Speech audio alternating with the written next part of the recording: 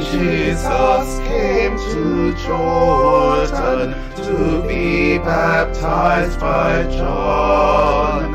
He did not come for pardon, but as his father's son. He came to share repentance with all who mourn their sins, to speak the vital sentence with which good news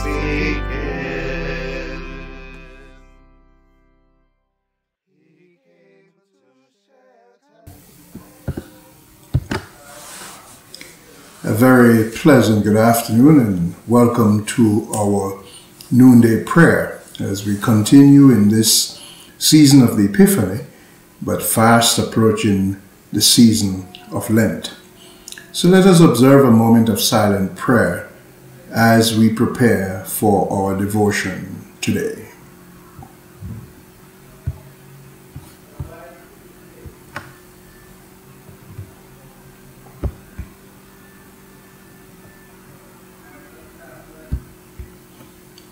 The Lord has declared his salvation. His righteousness he has openly displayed for all the nations to see.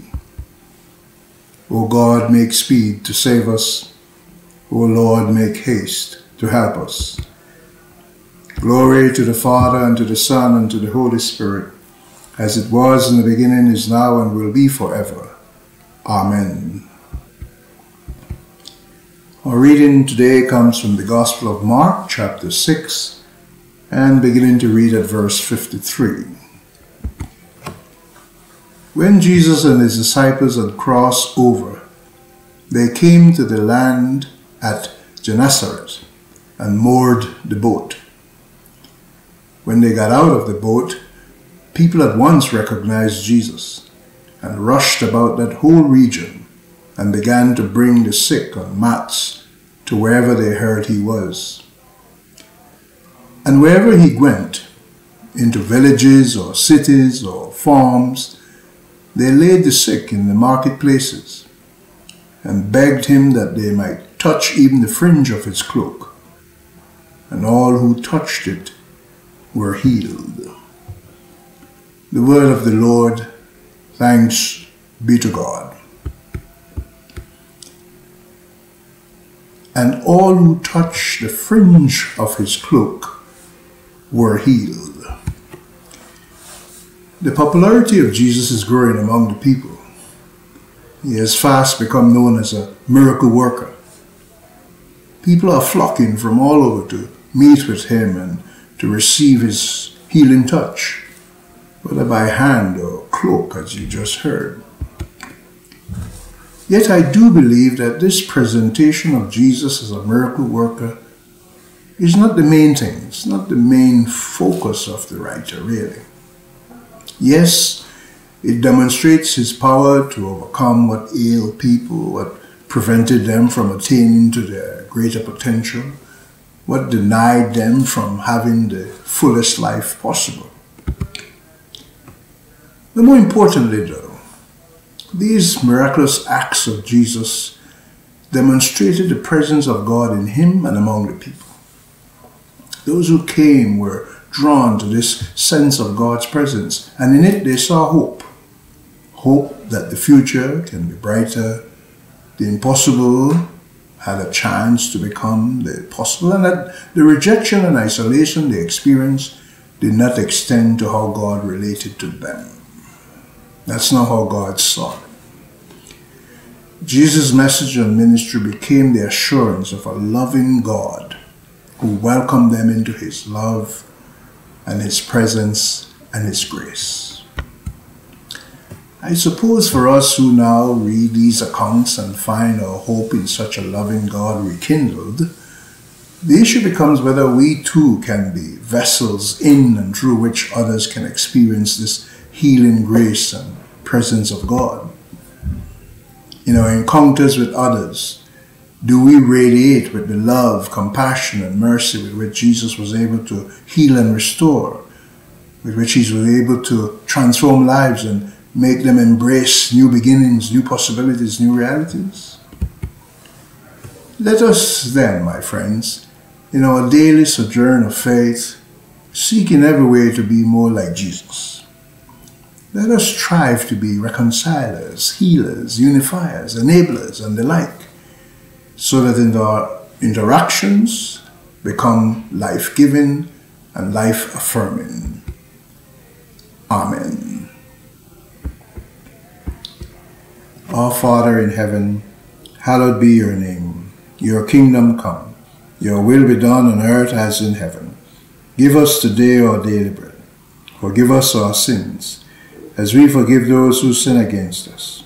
Save us from the time of trial, deliver us from evil. For the kingdom, the power, and the glory are yours, now and forever. Amen. Lord, have mercy. Christ, have mercy. Lord, have mercy.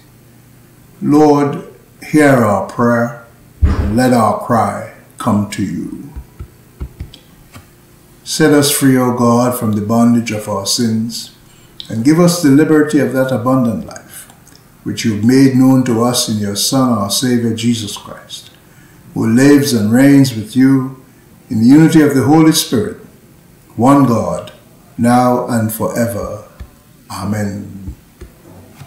Faithful God, as we go out into the world shining your light and your truth, help us to reflect your love in our families, our church, and our community, so that the world can witness that we are followers of Christ, and through that witness draw others into your loving care. Amen.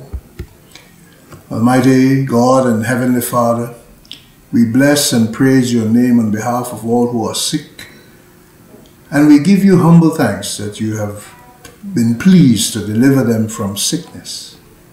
Grant, O gracious Father, that by your help they may live in this world according to your will, and be made partakers of everlasting glory in the life to come. Through Christ our Lord. Amen. My sisters and brothers, let us bless the Lord. Thanks be to God. And now may the Lord bless us and keep us. May the Lord make his face to shine upon us and be gracious to us. May the Lord lift up his countenance upon us and grant us his peace. And the peace of God which passes all understanding, keep our hearts and minds in the knowledge and love of God and of his Son, Jesus Christ our Lord. And the blessing of God Almighty, the Father, the Son, and the Holy Spirit, be with you and your loved ones near or far this day, and remain with you always. Amen.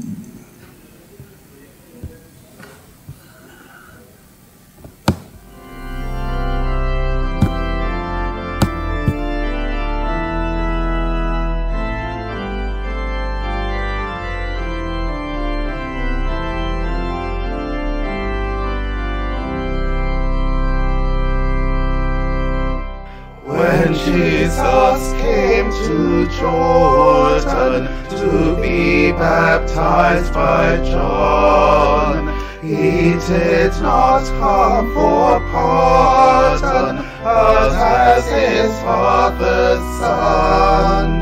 He came to share repentance with all who mourn their sins thee the vital sentence with which good news begins.